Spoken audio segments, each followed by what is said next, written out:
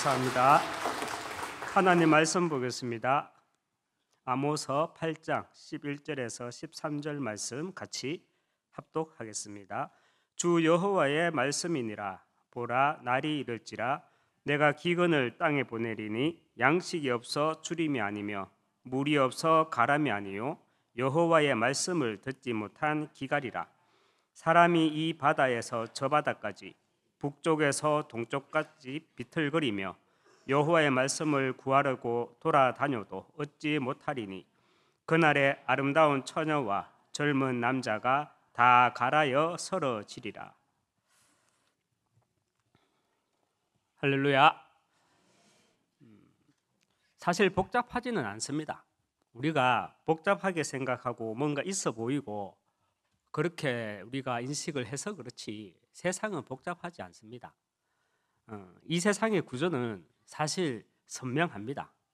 여러 나라가 있고 또 정치, 경제, 국방이 얽혀서 이익이 왔다 갔다 하고 또 분란이 있고 그래서 복잡한 것 같지만 모으고 모으고 모으고 해서 축약해 보면 이 세상은요 하나님 나라와 공중의 권세 잡은 자의 싸움입니다. 그래서 우리는 영적 싸움, 진리 싸움 그 한 가운데 내가 서 있다는 사실을 잊으면 안 됩니다. 베드로전서 5장 8절에 근신하라 깨어라 너희 대적 마귀가 우는 사자같이 두루다니며 삼킬 자를 찾나니 말씀합니다. 근신하라는 말은 말이나 행동을 삼가고 조심하라는 말입니다. 깨어라는 말은 무엇입니까? 무너지지 말라는 말입니다. 특별히 우리가 영적 싸움, 진리 싸움 그 한 가운데 내가 서 있다는 사실을 잊지 않기 위해서는요. 우리는 통찰력이 있어야 합니다. 통찰력이란 훤히 꿰뚫어 보는 능력을 말합니다.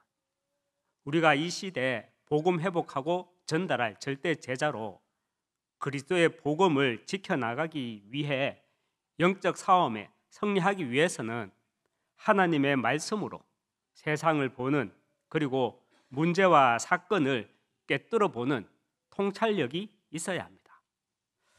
그래서 우리는 세상과 사람의 말이 아니라 우리는 하나님 말씀에 귀가 얇아야 합니다. 하나님 말씀에는 하나님 말씀에는 귀가 두껍고 사람의 말에는 귀가 얇게 되면 어떤 결과를 가져오게 됩니까? 사람의 말들로 인해서 근신하게 되고요. 그 결과 말씀이 내게 막히게 되고요. 결국 깨어 있지 못하고 나는 무너지게 됩니다. 여러분은 렘런트 일곱 명 가운데 음, 모세를 생각하면 어떤 이미지가 떠오르십니까? 또 요셉이라는 렘런트를 생각하면 어떤 이미지가 떠오르십니까? 또 엘리야, 엘리사를 생각하면 어떤 이미지가 떠오르십니까? 그리고 이사야, 그리고 다윗과 바울을 생각하면 어떤 이미지가 떠오르십니까? 물론 구약 시대 여러 예언자, 여러 선지자도 있었지만 렘런트 일곱 명은 당대 자기들이 살고 있었던 그 시대에서 하나님의 세미한 음성을 들은 사람들이었습니다. 하나님의 세미한 음성이란 단순히 그냥 하나님의 말씀을 들었다가 아니라 요한에서 3장 8절 말씀처럼 이 땅에는 그리스도가 필요하다. 그래서 그리스도를 보내 주실 것이다. 그 하나님의 이유를 그들은 들었습니다. 그리고 하나님의 소원을 들었습니다. 하나님의 소원은 영혼 구원, 세계 복음화입니다. 제가 해외 전도 집회를 처음 갔을 때가 2012년도 대만 전도 집회 때 처음 갔거든요. 어, 훈련을 마치고 호텔에 들어와서 이제 잠을 자는데 어, 이제 렘런트 한 명, 그때 조성욱 렘런트가 제 방을 같이 섰거든요. 성욱이가 왼쪽 침대에 자고 제가 오른쪽 침대 그리고 유리벽으로 된 이제 통유리가 되어 있어서 밖이 훤히 내다 보이고 했었죠. 그리고 정면에는 크다란 TV가 이렇게 있었어요. 그래서 한참을 자는데 냄새가 냄새가 세상에서 맡아보지 보지 못했던 냄새 무슨 냄새인지 모르겠어요. 그런데 지금도 제 뇌는 기억해요. 제 코는 기억을 못하는데 제 뇌는 그 냄새를 기억해요. 정말 세상에서 만나 맡아보지 못한 냄새였어요. 그 냄새 때문에 눈을 뜨는데 이게 짐승도 아니고 사람도 아닌 것이 이렇게 이제 벌거벗고 우리 땅구멍은 없이 그냥 맨들맨들한 맨살에 뭔가 촉촉하고 이게 물방울이 떨어지듯이 찐득찐득한 게 뚝뚝 떨어지면서 이렇게 TV 앞으로 이렇게 지나가면서 저를 보는 게요. 그래서 제가 예수는 그리스도, 예수 그리스도 그러니까 이게 이불을 덮고 있으니까 손이 무거워가지고 이게 못 올라가더라고. 그래서 뭐 예수 그리스도, 예수 그리스도 하는데 막 저를 막 쳐다보는데 그 눈빛이요. 어디 두고 보자. 꼭 이런 눈빛이란 거예요. 그러면서 저는 예수 그리스도 하면서 뭐 이러다가 잠을 깼어요.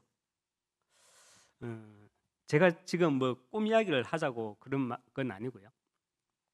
제가 그때 영적으로 참 약해서 시달렸거나 또 환경이 바뀌니까 헛것을 본 것에 대해서 이야기하는 것이 아닙니다. 뭐 꿈일 수도 있겠죠. 그리고 또 시달리다 보니 헛것을 보고 또 혼자 이상한 냄새도 맡아 볼 수도 있었겠죠.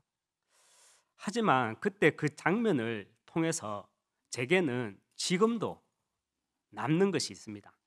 무엇이 남냐면 이 땅에 어떤 민족과 지역이든 복음 가진 한 사람이 없으면 복음 가진 교회가 없으면 흑암에 장악된다는 그 영적인 세계.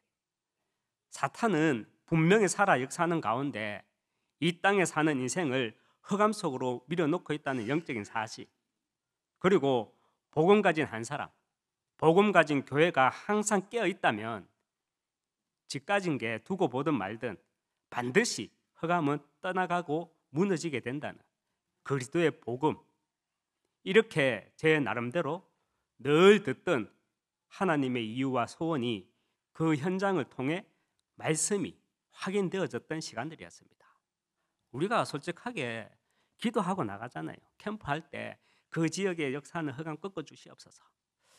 믿고 기도하십니까? 그냥 기도하십니까? 믿고 기도하시기 바랍니다. 사탄은 분명히요 살아서 이 영적인 세계 속에서 이 영적인 사실을 가지고 우리를 무너뜨리고 속이고 있다는 것입니다. 창세기 2장 4절에 이것이 천지가 창조될 때에 하늘과 땅의 내력이니 여호와 하나님이 땅과 하늘을 만드시던 날에 말씀합니다. 땅과 하늘로 순서를 바꾸면서 하나님은 여호와 하나님으로 자기를 소개하죠. 이 말씀을 직역하면 하나님은 구원과 언약 성취에 관한 자신의 의지를 나타내시면서 이제부터는 내가 천지 창조에 대해서 이야기하는 것이 아니라 이제부터는 내가 땅에 관한 이야기, 우리 인생에 관한 이야기, 구원에 관한 이야기만 하겠다라는 그 말씀입니다. 그리고 창세기 2장 5절에 여호와 하나님이 구원의 하나님이 이 땅에 비를 내리지 아니하셨고 땅을 갈 사람도 없었으므로 기록되어져 있죠. 이 말씀이 무슨 말씀입니까? 4절과 5절 말씀이 연결되어지십니까? 하나님은 구원과 언약에 관한 계획을 인간 창조 이전부터 아담과 하와를 창조하기 이전부터 저와 여러분을 창조하기 이전부터 이미 계획하셨다는 사실입니다. 정자와 난자가 수정되면 우리는 시간의 지배를 받기 시작합니다. 그런데 우리가 정자와 난자가 수정되기 전에 우리는 어디에 있었습니까? 우리는 하나님의 기억 속에 있었습니다. 예레미야 1장 5절에 내가 너를 모태에 짓기 전에 너를 알았고 내 어머니의 뱃속에 있을 때부터 너를 성별하였고 너를 여러 나라의 선지자로 말씀 사역자로 말씀 전하는 자로 세웠노라 말씀을 합니다. 창세기 2장 5절에 여호와 하나님이 땅에 비를 내리지 아니하셨고 땅을 갈 사람도 없었으므로 하나님은 구원과 언약에 관한 계획을 인간 창조 이전부터 이미 계획하셨다는 하나님의 이유와 또 하나님의 소원을 보는 그그 통찰력을 가지고 있다면요. 우리도 렘런트 7명처럼 시대를 보는 통찰력을 가지게 됩니다. 여러분 격변기, 과도기라는 말 아십니까? 사회적으로 사회적인 어떤 현상이 한 단계에서 다음 단계로 넘어가는 중간 시기, 어, 또 상황 따위가 갑자기 심하게 변하는 시기를 격변기, 과도기라고 합니다. 지금 우리는 본격적인 4차 산업혁명 시대를 앞둔 격변기에 있는 시간표라는 사실 우리는 인지하고 있어야 합니다. 우리가 인정하기는 싫어도요. 인정해야 하는 것이 있습니다. 미래는 다가오고 있습니다. 우리가 미래를 향해 가는 것이 아니고요. 미래가 우리에게 다가오는 것입니다. 우리가 시간을 향해 걸어가는 것이 아니잖아요. 우리는 가만히 있는데 시간이 다가오는 것입니다. 어떤 시대가 다가옵니까? 2030년에서 2080년, 2030, 2080 시대가 다가오고 있습니다. 2030, 2080 시대가 어떤 시대입니까? 대표적으로 메시지에서 우리가 말씀으로 받고 있잖아요. 우주 시대, 또 메타버스 시대입니다. 짧은 영상 하나만 보도록 하겠습니다.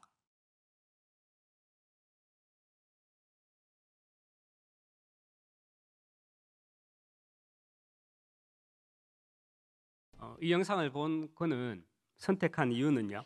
음, 이 영상이 코로나 이전에 만들어진 영상입니다.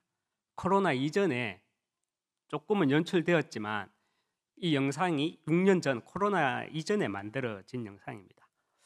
지금은 테슬라의 옵티머스 로봇이 나왔죠. 그리고 보스턴 다이나믹스 어, 우리나라 회사죠. 로봇 회사죠. 아틀라스 나왔습니다. 어, 거의 비슷한 수준으로 올라와 있습니다. 어, 우주 시대란 신인류를 말합니다. 앞으로 우리 후대와 후대의 후대들은요, 정말 세 가지 인류가 공존하는 시대를 살아가게 됩니다. 세 가지 인류란 여러분처럼 저처럼 전통 인류, 그리고 초인, 그리고 AI 인공지능, 이렇게 새 인류가 공존해서 살아가게 됩니다. 전 세계 인구는 최고치를 찍고 난 뒤 감소하게 됩니다. 우리 지구는 80억이 살도록 90억이 살도록 시스템이 세팅되어 있습니다.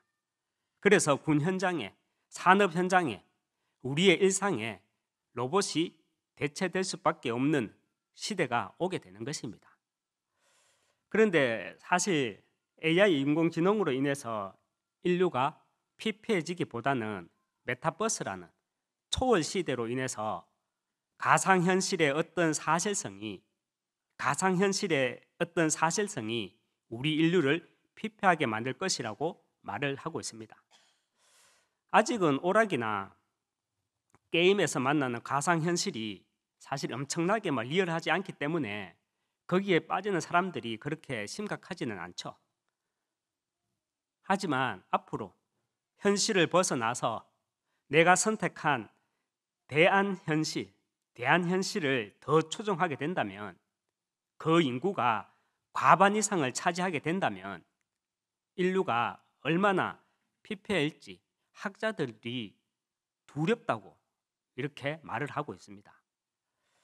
자칫 지금 우리가 그냥 격변기, 과도기가 아니라 그냥 격변기, 과도기가 아니라 우리는 영적 격변기, 영적 과도기라는 시대 흐름을 보는 그 통찰력이 없으면 복음 운동, 말씀 운동, 렘런트 운동이 자칫 우리 당대에서 멈추게 됩니다. 우리는 다시 확인해야 합니다. 우리의 정체성부터 다시 재정립해야 합니다. 나의 과거와 오늘과 미래, 삶 시대를 그리스도의 복음으로 편집, 설계, 디자인할 때 세 가지 정체성을 발견하게 됩니다. 얼마 전에 우리 시국에 계신 강창남 장로님과 이렇게 어, 식사를 같이 할 일이 있어서 식사를 하면서 얘기를 하다가 보니까 아 이분이 제가 한 번씩 설교 때 말하잖아요. 성당도 파도곡에 갈대야 우르 골목 세 번째 집.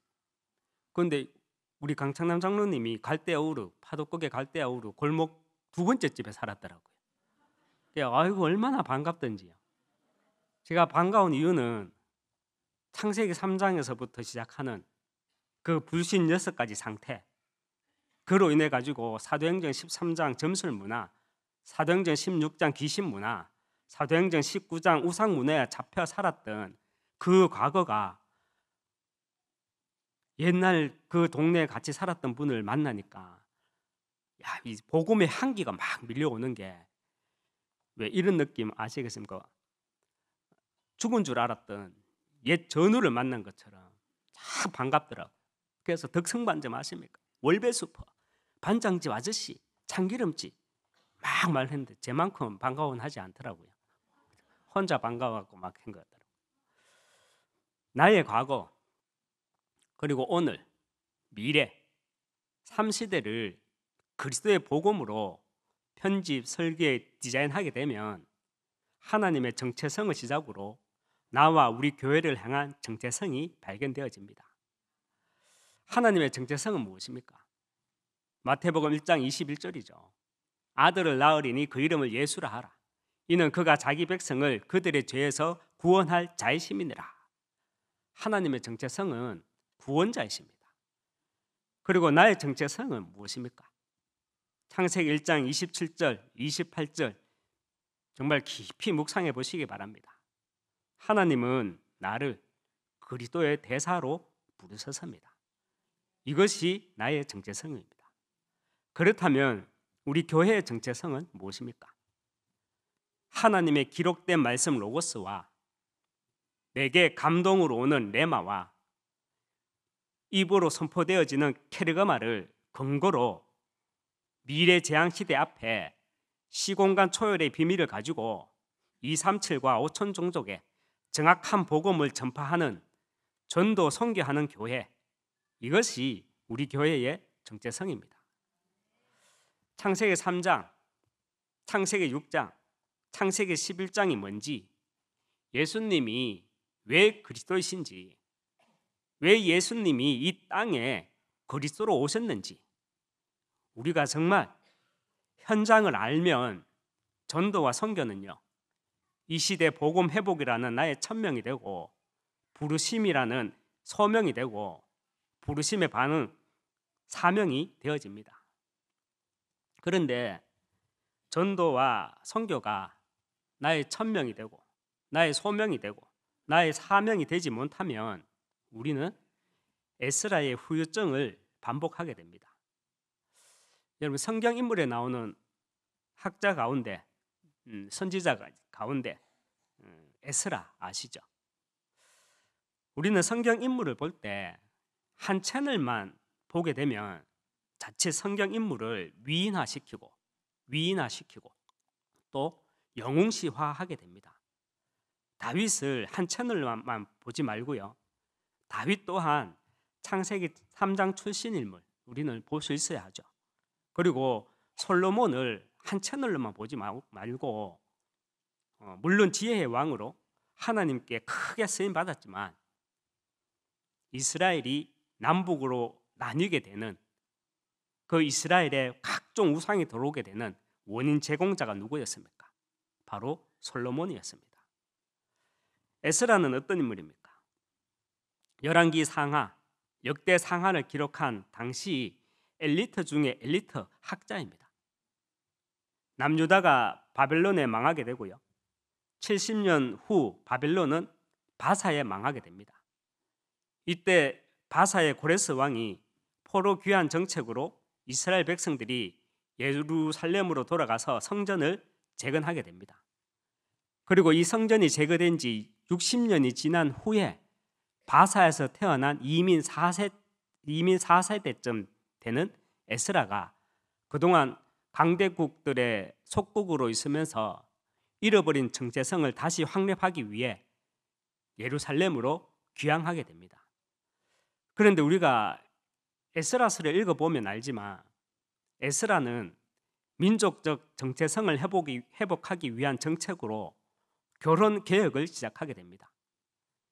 이방인과 결혼한 제사장들을 강제 이혼시키고요. 심지어는 그 자녀들까지 자기 나라로 강제로 추방해 버립니다. 서그라서 10장 44절에 이상은 모두 이방 여인을 아내로 맞이한 자라 그 중에는 자녀를 낳은 여인도 있었더라. 이렇게 조사를 다 해가지고 이방과 이방인과 결혼한 제사장들 그 아내들을 다 자녀들을 다 자기 나라로 내어 보내는 겁니다. 야곱의 열두 아들들은 가나안 여인과 결혼하였습니다. 사실상 이스라엘 열두 지파는 그때부터 혼혈이라고 봐야 합니다. 요셉은 애굽의 제사장 딸과 결혼하였습니다. 모세도 미대한 여인 시보라와 결혼하였고요. 또 그 후에는 아프리카 구수 여인과 결혼하였습니다. 신명기서 21장 10절에서 14절에 보면 전쟁에서 포로로 잡은 이방 여인과 결혼을 허용하였습니다. 그리고 가장 상징적인 사건으로 여리고 성의 기, 여리고 성의 기생 라합은 살몬과 그리고 보아스는 모압 여인 룩과 결혼을 하였고 다윗의 조상이 되었습니다. 에스라의 결혼 개혁 뒤에 등장하는 말라기 선지자는 2장 16절에서 이렇게 말을 합니다. 나는 이혼하는 것과 학대로 옷을 가리우는 자를 미워하노라 말씀을 합니다. 성경은 음행한 연고 외에 이혼하는 것을 엄격히 금지하고 있습니다. 에스라는 이러한 사실을 모두 외면하죠. 성경을 통해 하나님은 처음부터 모든 민족과 열방을 향한 선교적 목적을 가지고 계십니다. 에스라 이전에 하나님은 분명히요 선교적 비전을 가지고 이방 백성을 향한 자신의 소원을 표현하였습니다. 하지만 에스라 이후 나타나게 되는 유대교는 하나님의 선교적 비전을 잃어버리고 혈통만 혈통만 주장하는 유대교로 변질되었습니다. 사마리아 사람들을 혼혈이라고 개처럼 여기고 이방 선교하는 바울을 핍박하였습니다. 하지만 예수님은 어땠습니까?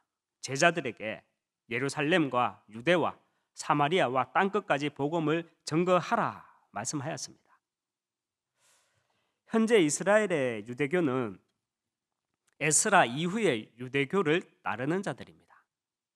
에스라의 과격한 종교 개혁과 과격한 종교심이 얼마나 많은 후유증을 가지고 왔는지 우리는 역사를 통해 볼 수 있습니다.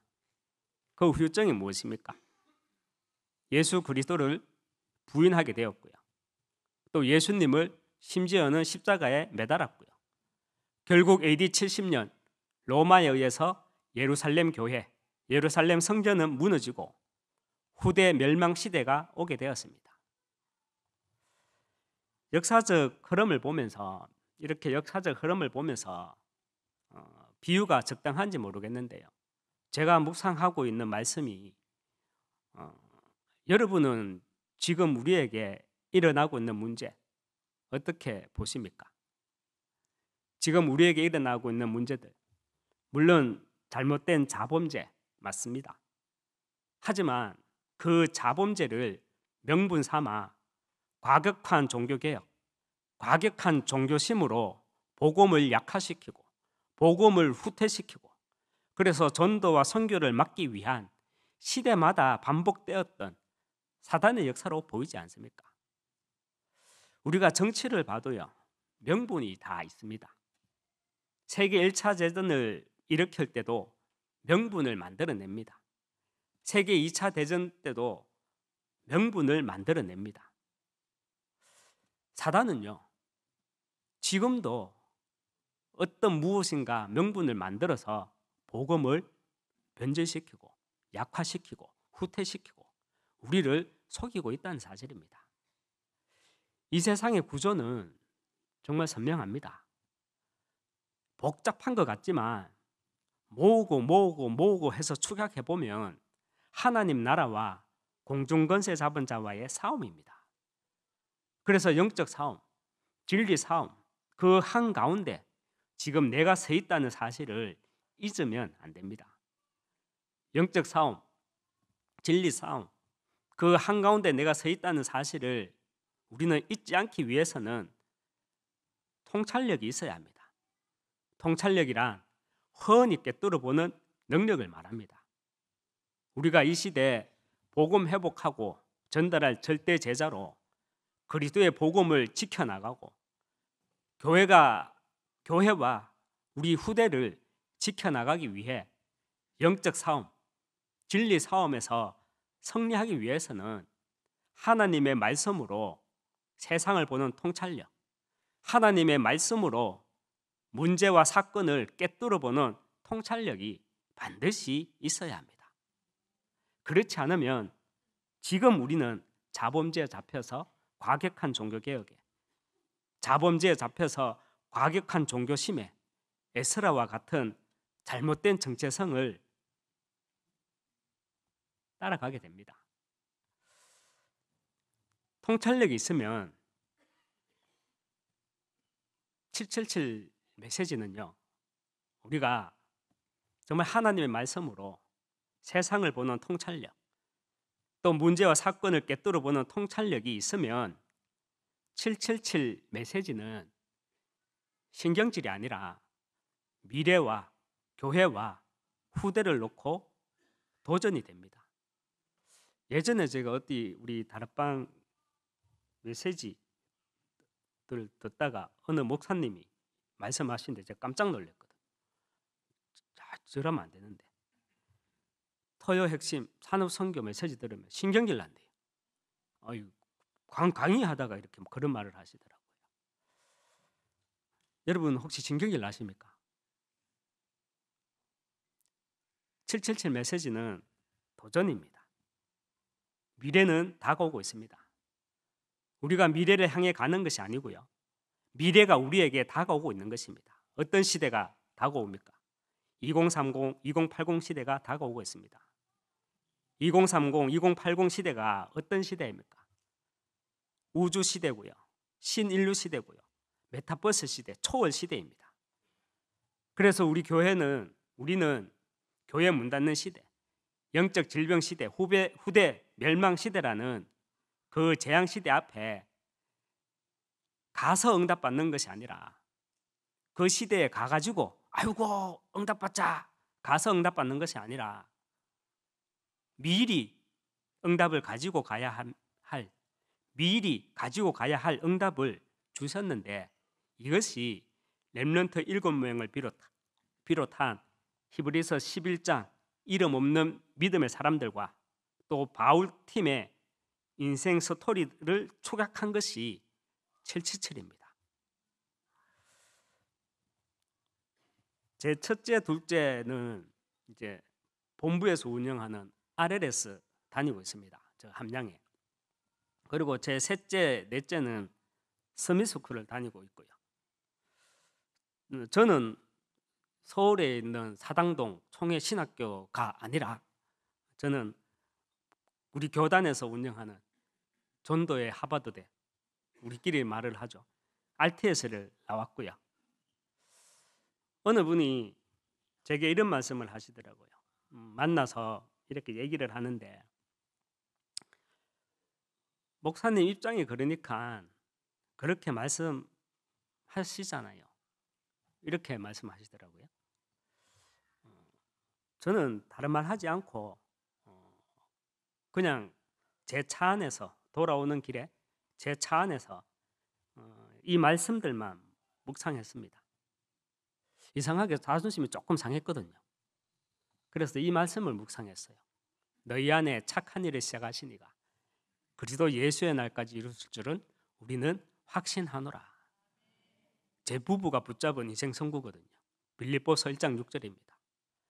그리고 제 첫째를 가지고 붙잡은 인생 선구는 내가 너로 큰 민족을 이루고 내게 복을 주어 내 이름을 창대하게 하리니 너는 복이 될지라.